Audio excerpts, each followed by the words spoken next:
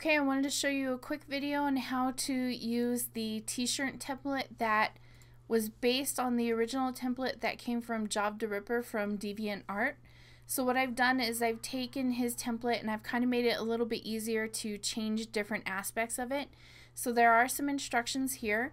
If I go ahead and lock the template info layer, let's look at each of these layers. So we've got the info, and then we have the shirt details, and that's just the outside border, the kind of transparent graphics that give you some depth to the t-shirt.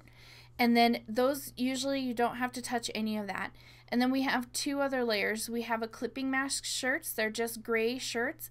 And if I turn off this original or the actual shirt details, you can see that they're just shapes.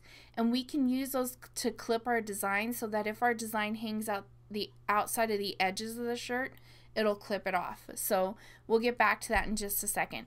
Then we have an open unlocked layer called your design here. Obviously that's where you're going to add your design. And then you have a shirt base colors and those are just the original colors that you can change. So let's turn those shirt details back on. Leave that locked because what you want to do is be able to lock and unlock layers so you can easily select stuff.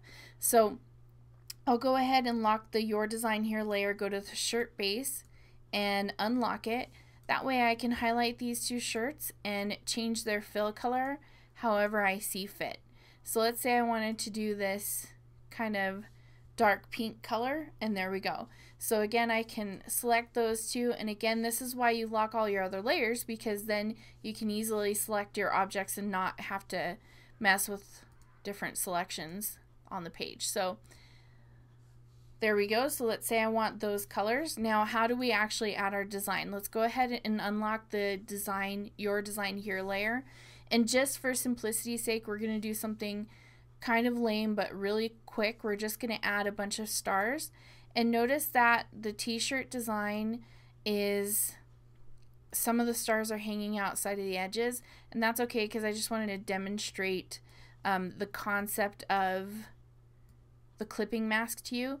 And notice by having your design underneath the shirt details layer, then those details will sit on top of your objects or your design and you don't lose any of that detail. So we'll go ahead and do this. And again, this is not the coolest design ever, but it should demonstrate the concepts for you. Now, if you're just going to do a logo or just something right here on the upper chest layer or whatnot, then that's absolutely fine. But if you do a design like a pattern or whatnot that you do want to kind of have clipped to the edges, then here's what you do. So you have your design on the Your Design Here layer, and then what we're going to do is we're going to unlock the clipping mask shirts when we're all done, and then turn on that clipping mask shirts.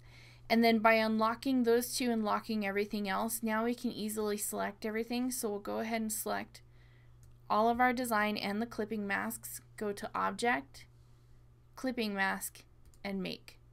So that's just going to clip it to the edges so that it looks nice and clean and it looks like an actual preview of what your shirt would look like. So um, in general, that's how you work with this template and I'm excited to see what designs you come up with.